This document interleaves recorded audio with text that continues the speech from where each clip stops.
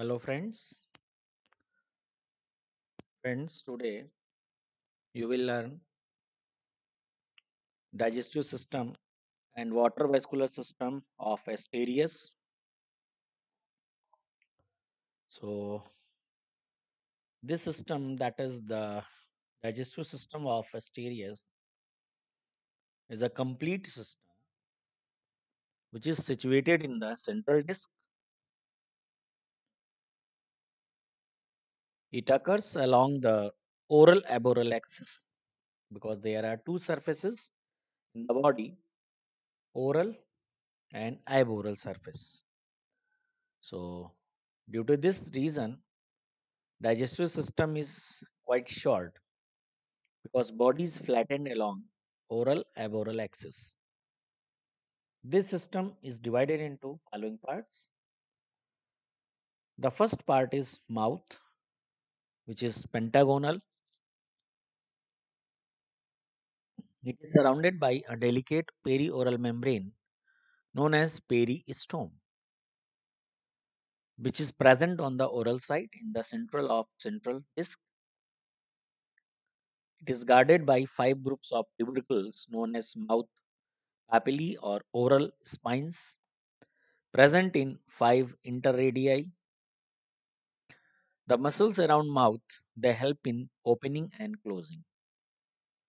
Next part is esophagus because mouth opens in a short and wide esophagus which extends vertically to open into the next part so called stomach. So stomach is a spacious sac which occupy most of the interior of the central disc and stomach is differentiated into a large cardiac stomach and a small aboral part pyloric stomach. These two stomach are separated by a constriction. Now the first part of the stomach is cardiac stomach. Cardiac stomach is a large sac large chamber provided with five lobes along the five radii wall is thin muscular and highly folded.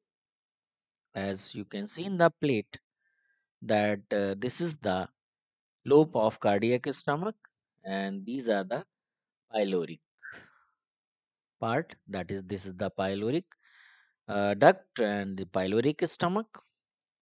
So cardiac stomach can be everted through the mouth at the time of feeding which is brought about by the contraction of the body muscles and pressure of coelomic fluid the retraction of the cardiac muscles uh, it is brought about by five pairs of retractor muscles which connect the cardiac stomach with ambulacral ridges of five arms. This stomach is glandular and secretes mucus. Now, next part is the pyloric stomach, which is a small, flat, pentagonal sac opens aborally into the intestine. Each lobe receives a duct known as pyloric duct from pyloric ceca or digestive gland. So you can see here that uh, here you this is the pyloric stomach which give rise a pyloric duct which further uh, bifurcate into two small duct and give rise pyloric ceca. Pyloric ceca are also known as digestive glands and each arm of the um, sea star contains a pair of digestive glands or pyloric ceca. Each pyloric cecum has a hollow longitudinal axis from which arise two series of short lateral hollow branches. Each branch terminates into several small bladder-like structure of greenish or brownish color and the pyloric ceca contain four types of cells. First cells, these are the secretory or granular cells which secretes enzymes and they secrete proteolytic enzymes, amylolytic enzymes and lipolytic enzymes. Second cells are mucous cells which secretes mucus And uh, third cells are is cells, which store reserve food as lipids, glycogen, protein, polysaccharides, etc.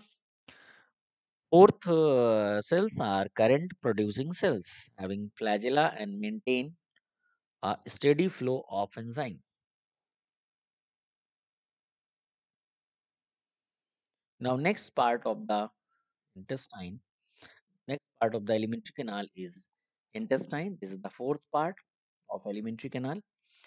It is short and five-sided tubular part which extends vertically to aboral surfaces where it opens out by an anus, gives out uh, two or three small branched brownish appendages known as intestinal ceca or rectal ceca. Uh, intestine secretes, uh, that is, the intestinal ceca secrete a brownish fluid which is excretory in nature, and the part of the intestine after ceca it is known as rectum. Next part is anus, and anus is a small rounded aperture present eccentrically on aboral surface of the central disc. Now, food and feeding mechanism. Uh, this animal that is Asterias is voracious and carnivore animal and it feeds on sedentary marine animals for example clams oyster mussels snails crabs barnacles worms etc and uh, it also feeds on small fishes. It captures its prey by arms and tube feet. Uh, it creeps over the clam which is uh, which is considered as the favorite food for asterias and uh, it pull apart its wall with the help of its uh, arm and muscles. The cardiac stomach everts out and secretion of stomach and pyloric ceca are poured over it. Now in the digestion enzymes such as proteases amylases and lipases digest the protein starches and uh, fat respectively. Digestion occurs outside the body. The digestion materials are carried into alimentary canal by retraction of cardiac stomach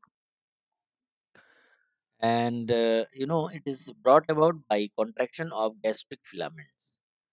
The digestion of semi-digested material is completed in stomach and pyloric ceca some intracellular digestion also occur. The digested food is absorbed mainly by pyloric ceca and distributed to all body parts by coelomic fluid. Excess food remains stored in storage cells of ceca Since absorption of food is completed in pyloric ceca, therefore it does not require long intestine. Little undigested material is eliminated eliminated through uh, mouth mainly, but sometimes it, uh, it is eliminated through the anus. So therefore, uh, this is all about uh, the digestive system. Now, next system of Asterias is water vascular system, and it is also known as ambulacral system. This system is very unique because it helps uh, mainly in locomotion, and it is a modified part of coelom, and it consists of a system of canals having seawater and amoeboid capsules.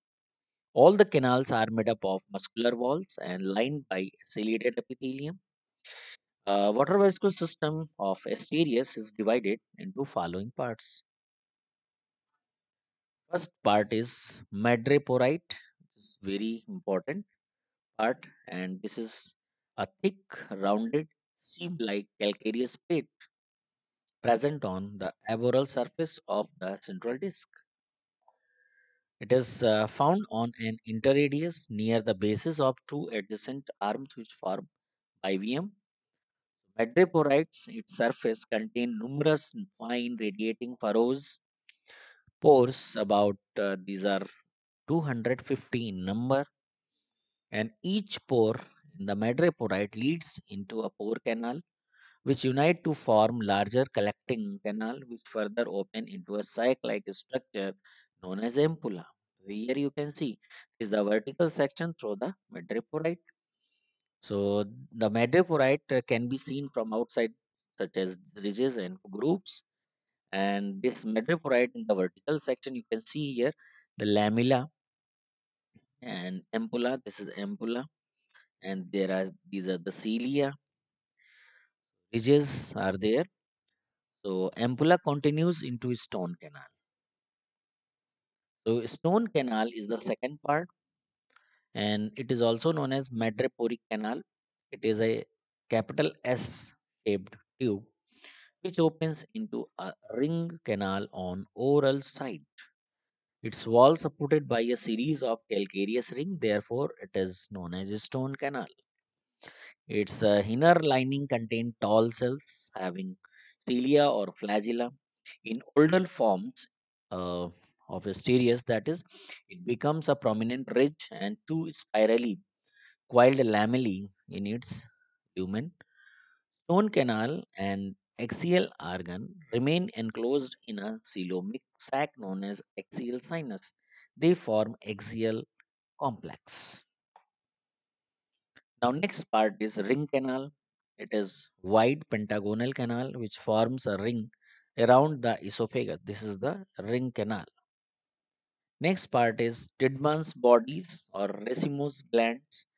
These are small rounded yellowish glandular sac opening into ring canal on its inner side. These are nine in number because one is missing where the stone canal open in the ring canal. So they are nine in number. Uh, mm, it is made up of surrounding peritoneum enclosing stroma of connective tissue plus muscles fiber with radiating tuber, uh, tubules. An exact function of these racemose gland, that is Tiedemann's body, is unknown, but some consider them as filtering devices and others as enzyme forming bodies. Some workers claim that they are lymphatic glands which uh, manufacture phagocytic amoebocytes released into water vascular system. Now next part is Polian vesicle, but these are absent in Asterias. That is, these are these structures which store the water. These are absent in the family Asteriidae and Echinasteridae. These in these two family, these structures are not found. Next uh, part of the system is radial canals. These are the radial canals. So ring canal gives out a radial canal along each uh, radius extending up to the tip of the arms. Uh, these are present below the ambulacral ossicles. So next is lateral canals or podial canals. Each radial canal gives out two series of narrow lateral or podial canals. Each lateral canal opens into a tube foot uh, guarded by a valve to prevent backflow of fluid into radial canals. So next part is tube foot. Two double rows of tube feet in each arm are present, and you know each series of alternatively placed long and short lateral canals. These are the tube foot. Each tube foot is a closed thin walled tube. It is divided into three parts. First part is ampulla. Here you can see this is a rounded sac like situated above the ambulacral ossicles and projecting into coelom. Next part is podium, and podium is a middle part of tube foot and it is tubular extending through the ambulacral groove. Next part is sucker. This is the third part, and this is cup like at the uh, lower end of the podium, and its wall contains strong longitudinal muscles and circular muscles. Uh, actually, podia contain rings of inelastic connective tissue. So, what is the function of water vascular system? Its main function is locomotion, and uh, by providing hydraulic hydraulic uh, pressure mechanism. Very important feature. Walls of the tube feet serve for respiratory exchange of gases. Tube feet also help in anchoring the body to the substratum and in capturing the food. By the action of cilia present in umbilical canal, seawater enters into madreporite and all canals along the tube feet are filled with the seawater. So body moves by the stepping action of tube feet which are adhered to and released from the substratum. Now the ampullae contract through their circular muscles, and due to this hydraulic pressure in the tube feet increases, it become elongate and extend forward and get attached to the substratum by the vacuum action of suckers. After moving forward, tube feet get shortened by the contraction of their longitudinal muscles and forces the water back into ampullae. Due to this action, sucker release their hold on substratum. So in this way, animal moves forward. So their speed is very slow, that is 15 centimeter per minute. So this is all about ambulacral system or water vascular system of Asterias. So please like, share and subscribe my channel. Thank you very much.